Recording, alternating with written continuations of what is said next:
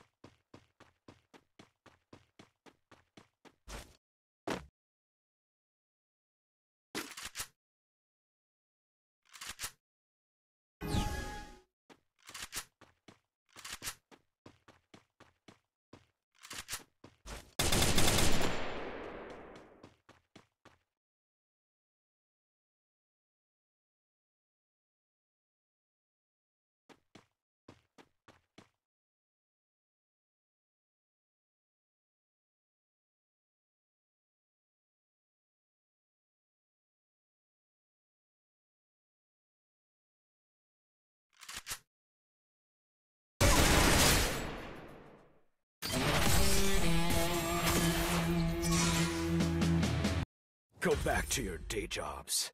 This is my expertise.